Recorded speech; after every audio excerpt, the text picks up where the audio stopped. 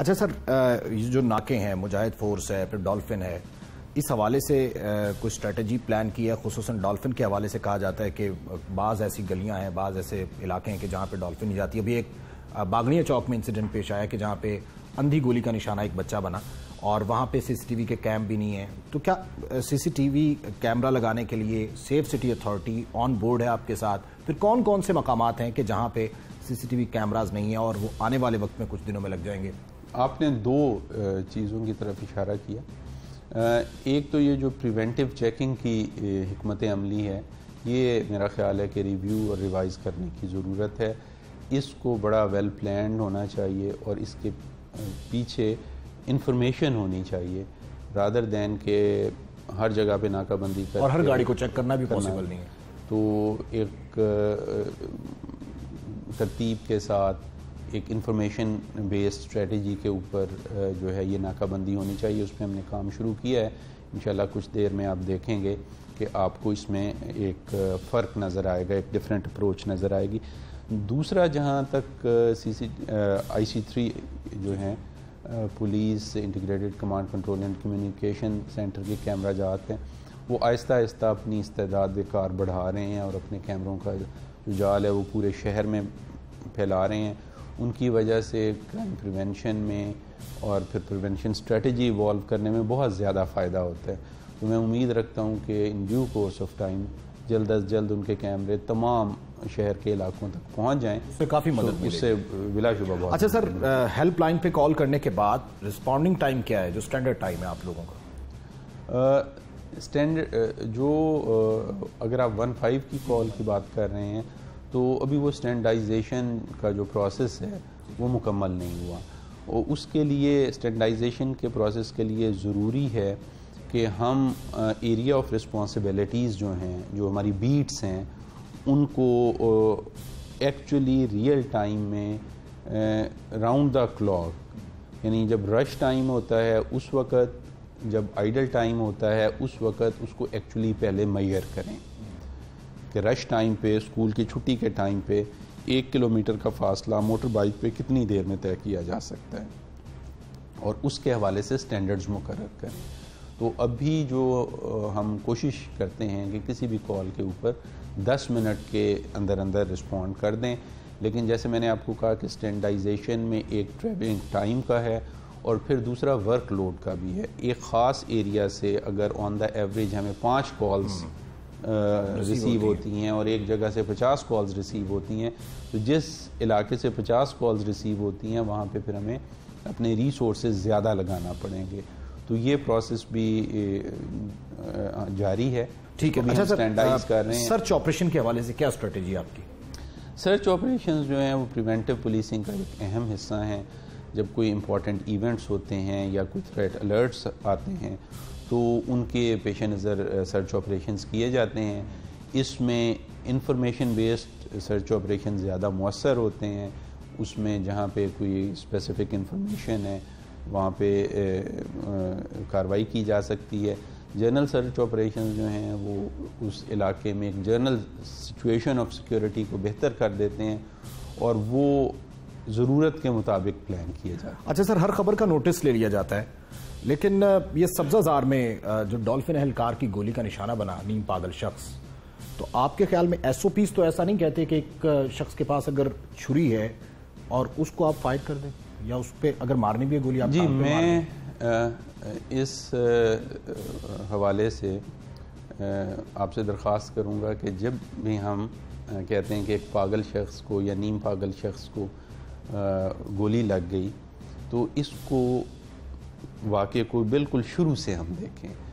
واقعہ یوں شروع ہوا کہ ون فائیو کے اوپر کال موصول ہوئی ایک عام شہری کی طرف سے کہ ایک شخص لوگوں کو چھری یا چاقو سے زخمی کر رہے ہیں اس اطلاع کے اوپر ڈالفن کی ٹیم وہاں پہ پہنچی۔ وہاں پہ واقعی یہ واقعہ تھا۔ اس شخص کو پکڑنے کی کوشش کی گئی، ان عام کرنے کی کوشش کی گئی۔ اس کوشش میں اس نے پولیس آفیسر کے اوپر چاقو سے حملہ کیا اور اسے شدید زخمی کر دیا۔ وہ ہمارا پولیس آفیسر دو دن سے زندگی اور موت کی کشمکش میں مبتلا ہے اور جنا ہاسپٹل میں بے ہوش پڑا ہے۔ اس کے بعد اس پولیس آفیسر نے حفاظت خود اختیاری میں اس کو جو ہے اس پہ فائر کیا جس کی وجہ سے اس کی موت ہوگی۔ اگر آپ اس پورے واقعے کو دیکھیں گے تو پھر آپ ایکشن اور ری ایکشن کو سر ڈالفن کی الیکٹرک سٹک کہاں پہ گئی اس کے جو دیگر گجٹس ہیں جو اس کو دیے گئے ہم نے تو سنا ہے کہ ترکی سے مطلب لیس ہے اور پھر ترکی کے لوگوں نے اس کی ٹریننگ کروائی ہے تو پھر وہ ساری باتیں تو چلی گئی نا ایک سٹک لگا کے اس کو بے ہوش کر دیتے گرا لیتے یا فائر اگر مارنا ہے تو پھر وہ ٹانگ میں مار سکتے ایس او پی سر کیا کہتے ہیں جی میں یہی آپ سے عرض کر رہا ہوں کہ جس وقت جو ایک حملہ آور آپ کی جسم میں چار انچ چاقو اتار دیتا ہے اور آپ کا دل چند ملی میٹر دور ہوتا ہے اور آپ کے جسم کے اندر سے جو میرے ساتھ تین لوگوں سر ایک نیم پاگل شخص بلڈ ایک بلڈ باہر نکل رہا ہے۔ تو اس وقت کی جو فیصلہ سازی ہے وہ اس کمرے میں بیٹھ کر فیصلہ سازی سے مختلف ہوتی ہے۔ Nevertheless having said that ہم ڈیفینیٹلی اس چیز کو ریویو کر رہے ہیں۔ ایف آئی آر تو الٹ ہو گئی نا۔ میں ایف آئی آر کے بارے میں بھی ذکر کرتا ہوں۔ لیکن جو ایس ایس پی صاحب آپریشنز کی سرکردگی میں ایک کمیٹی بنائی گئی ہے جو اس سارے واقعے کا جائزہ لے گی اور اس چیز کا تعین مطلب کرے گی کہ اس کو کس طرح ہینڈل کیا جاتا ہے۔ جہاں تک ایف آئی آر کا ذکر ہے ایف آئی آر میں کوئی ایک چیز بھی خلاف واقع نہیں ہے۔ جو چیز میں نے آپ سے ذکر کی وہی چیز ایف آئی آر میں۔ آسکنگ جسٹ کہ ایس او پیز کیا ہیں؟ مطلب پولیس کے پہلے فائر اگر اپوزٹ سائٹ سے ہو تو پولیس چلائے۔ دیکھیں میں نے آپ سے جو ذکر کیا اس میں کوئی خلاف واقع چیز ہے؟ کیا آپ اس چیز کو ڈینائی کر سکتے ہیں کہ پولیس آفیسر کے اوپر پہلے حملہ ہوا؟ پولیس آفیسر کے اوپر ایک جان لیوا حملہ ہوا؟ ٹھیک ہے؟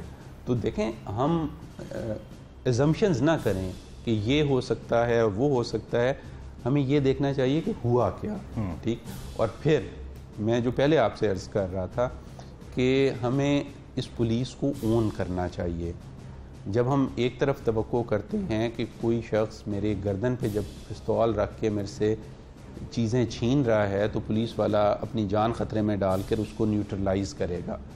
جب میرے بچے کے پیٹ میں کوئی نیم پاگل شخص چھری مارنے کی کوشش کر رہا ہے تو پولیس والا اس کو نیوٹرلائز کرے گا۔ پھر ہم اس پولیس والے کو اون بھی کریں۔ دیکھیے آپ نے یہ سوال کہیں پہ بھی کسی میڈیا پہ اٹھاتے کسی کو دیکھا کہ اس کے گھر والوں کی ذمہ داری نہیں تھی کہ اگر وہ نیم پاگل تھا تو اس کے ہاتھ میں چھری دے کے باہر بھیج دیا؟ تاکہ وہ پانچ لوگوں کے پیٹ میں چھری مارے اور پولیس والے کے دل میں چھری میں اس کو بے گناہ نہیں کر رہا ہوں سر۔ نہیں آپ بے گناہ نہیں کر رہے۔ لیکن میں یہ کہہ رہا ہوں کہ جس وقت ہم ایک معاشرتی مسئلے کی طرف توجہ کرتے ہیں تو پھر ہمیں ایک بیلنس پوائنٹ آف ویو لینا چاہیے۔ ہمیں اس چیز کا احساس رکھنا چاہیے کہ پولیس والا ہماری پروٹیکشن کے لیے آپ کی پروٹیکشن کے لیے ہمارے بچوں کی پروٹیکشن کے لیے میدان عمل میں اترتا ہے۔ اور اس کا جو ایکشن اور ری ایکشن ہے اس کو اسی کانٹیکٹ لیکن سر یہ کون غلط کون ٹھیک ہے تو تفتیش میں اور وہ کمیٹی کی فائنڈنگز میں سامنے آ جائے گا اس پہ ہم زیادہ اس پہ نہیں جاتے۔ لیکن آپ سمجھتے ہیں کہ اس قسم کے واقعات جو ہیں وہ پولیس کی ساکھ پہ ٹھیک ہے وہ جو دیگر انسٹیٹیوشن ہے ان کی تو ہے متاثر ہے جیسے والدین کی ذمہ داری پہلے تھی اہل و عیال کی ذمہ داری تھی کہ اس کو باہر نہ نکلنے دیتے۔ متاثر کرتے ہیں یہ لوگ ساکھ کو؟ اس طرح کے واقعات ڈیفینیٹلی پولیس کی ساکھ کو متاثر کرتے ہیں لیکن اگر ہم اس میں ایک بیلنس پوائنٹ آف ویو دیں پورے واقعے کو جی جی۔ رادر دین اس کو چھوٹے چھوٹے ٹکڑوں میں تقسیم کر کے اس پہ تبصرہ کریں پورے واقعے کو لوگوں کے سامنے اگر ہم رکھیں گے تو ہمارے لوگ بہت باشعور ہیں۔ بالکل صحیح۔ وہ ایک متوازن اوپینین بنائیں گے۔ وہ جہاں یہ سوال اٹھائیں گے کہ پولیس کو اپنے طرز عمل کو اپنے طریقہ کار کو ایس او پی کو ریویو کرنے کی ضرورت ہے۔ اس کے ساتھ ساتھ وہ سماجی ذمہ داری کے جو مسائل ہیں، والدین کی ذمہ داری کے جو مسائل ہیں، ان کو بھی اٹھانے کی کوشش کریں گے۔ ابھی آپ نے تعلیمی اداروں میں منشیات کی بات کی۔ جو لاہور پولیس ہے، وہ تو شاید دو، تین، چار ہزار تعلیمی اداروں کو لک آفٹر کرتی ہے، ان کو سیکیورٹی پرووائڈ کرتی ہے۔ اور خدا نخواستہ اس میں اگر اس طرح کی کوئی شکایت ہو تو اس پر عمل درآمد کرتی ہے۔ وہ جو بچے وہاں پہ منشیات کا شکار ہوتے ہیں وہ تو زیادہ سے زیادہ دو یا تین بہن بھائی ہوتے ہیں۔ کیا یہ سوال نہیں اٹھایا جانا چاہیے کہ وہ والدین جو اپنے بچے کی لاکھوں روپے کی فی بھر دیتے ہیں وہ اپنے بچوں کی حرکات و سکنات پر نظر کیوں نہیں نظر کیوں نہیں رکھتے؟ بالکل ایسے۔ وہ تعلیمی ادارے جہاں پہ بچہ اگر کلاس میں ایک گھنٹہ لیٹ آئے تو اس کو جرمانہ کر دیا جاتا ہے۔ کلاس رومز میں کیمرے لگائے ہوئے ہوتے ہیں اپنا کوالٹی سٹینڈرڈ مینٹین کرنے کے لیے۔ وہ اس کے لیے کیا کام کر رہے ہیں۔ تنقید کرنا مقصد نہیں۔ مقصد یہ ہے کہ اگر ہم جو مسائل ہیں اور جو سماجی مسائل ہیں جن کی جڑیں ہمارے سماجی اور معاشی مسائل سے جڑی ہوئی ہیں اگر ہم ان کے اوپر ایک بیلنسڈ پوائنٹ آف ویو نہ لیں اور صرف ان میں سے ایک ٹکڑا اٹھا کے محض ایک محکمے کو پولیس کو والدین کو تعلیمی اداروں کو تنقید کا نشانہ بنانا شروع کر دیں تو اس سے شاید لمحاتی طور پہ تو ہمیں سیٹسفیکشن ہو میرا سر پوائنٹ آف ویو بڑا ڈیفرنٹ ہے لیکن اس جی، جی۔ مسئلے کا حل نہیں نہیں ہے بالکل۔ میں اپنے پروگرام میں بھی یہ کوشش کرتا ہوں اس کو اسٹیبلش کیا جائے کہ پولیس کرائم کے بعد کی ذمہ داری ہے پولیس کی کہ کرائم سب سے پہلے کرمنل پیدا کس نے کیا؟ سب سے پہلے والدین کی ذمہ داری ہے، پھر تعلیمی اداروں کی، پھر اس کے جو دوست احباب ہیں، اس کو روکنا کس نے؟ والدین کی ذمہ داری ہے۔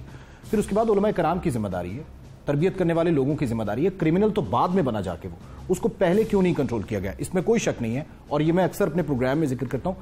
لیکن وہ ساری ذمہ داری پہلو تہی کر کے لوگ پیچھے ہو جاتے ہیں اور ایک پولیس آ جاتی ہے۔ وہ اس لیے کہ آپ پہ ذمہ داری ہے، سر۔ آپ اب یہ بتائیں کہ جس طرح سے آپ نے کہا تھا کہ ابھی منشیات فروشوں کے خلاف ہم کریک ڈاؤن بھی کریں گے اور تعلیمی اداروں میں خصوصاً جو منشیات کا استعمال ہے وہ والدین کو بھی دیکھنا چاہیے انتظامیہ کو دیکھنا چاہیے اسکول کی کالج کی یونیورسٹی کی۔ اس کے ساتھ ساتھ سر گٹکا فروش شراب منشیات ان ان کے خلاف کریک ڈاؤن کی پالیسی بنائی ان کے خلاف نہ صرف آئندہ کریک ڈاؤن ہوگا بلکہ ماضی میں بھی ان کے خلاف کریک ڈاؤن پولیس کرتی رہی ہے۔ کبھی بھی ایسا نہیں ہوا کہ پولیس نے اس اس کو نگلیکٹ کیا ہو۔ لیکن چونکہ انفارچونیٹلی مختلف عوامل کی وجہ سے اس کی ایک بڑی مارکیٹ بن گئی ہے۔ لوگوں کی ڈیمانڈ ہے اس چیز کی۔ اور اس کی وجہ سے بار پولیس کی باوجود بار بار کاروائی کرنے کی کوئی ایسا منشیات فروش نہیں ہوگا جس پہ بیس پچیس تیس ایف آئی آریں نہ ہوں۔ اسے بیس پچیس تیس دفعہ گرفتار نہ کیا گیا ہو اور وہ جو ہے پروسیس آف لا سے نہ گزرا ہو۔ لاہور میں سر کو منشا بم تو نہیں بنے گا؟ انشاءاللہ ہم کوشش کریں گے کہ لاہور میں جو منظم جرائم پیشہ گروپ ہیں جو خواہ وہ زمینوں پہ قبضے کرتے ہوں خواہ وہ اور جرائم میں ملوث ہوں ان کو فرسٹ انسٹنٹ پہ کو جو ہے قانون کے کٹہرے میں لایا جائے اور ان کو اس لیول پر نہ جانے دیا جائے کہ وہ ایک سوشل نیوسنس بن جائے۔ اچھا سر عوام کے لیے کیا میسج ہے آپ کا؟ کیا پیغام دینا چاہتے عوام کے لیے میسج یہ ہے کہ یہ آپ کی اپنی پولیس ہے۔ جس وقت آپ سو رہے ہوتے ہیں یہ پولیس آپ کی حفاظت کے لیے جاگ رہی ہوتی ہے۔ جب آپ کے بچوں کے اوپر کوئی دہشت گرد حملہ کرنے آتا ہے تو یہ پولیس اپنی جان دے کر آپ لوگوں کی حفاظت کرتی ہے۔ لاہور پولیس نے ڈی آئی جی رینک سے لے کر کانسٹیبل تک بے شمار شہداء جو ہیں وہ اسی کام کے لیے پیش کی ہیں۔ ہمیں اپنی کوتاہیوں سے انکار نہیں۔ ہمیں اپنی کارکردگی اور اپنے ایس او پیز کو بہتر کرنے کی کوشش سے انکار نہیں۔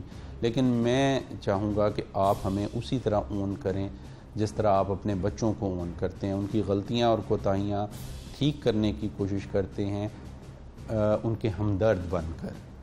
میں اور تم وی اینڈ دے والی جو تفریق ہے اس کو دور کر دیں۔ لاہور پولیس آپ کی اپنی پولیس ہے اس کو آپ اون کریں اس کے اچھے کام میں حوصلہ افزائی کریں اس کے غلط کام کی نشاندہی کریں۔ انشاءاللہ آپ دیکھیں گے کہ آنے والے چند ماہ میں لاہور زیادہ محفوظ زیادہ پرامن اور زیادہ ہستہ بستہ کی تھینک یو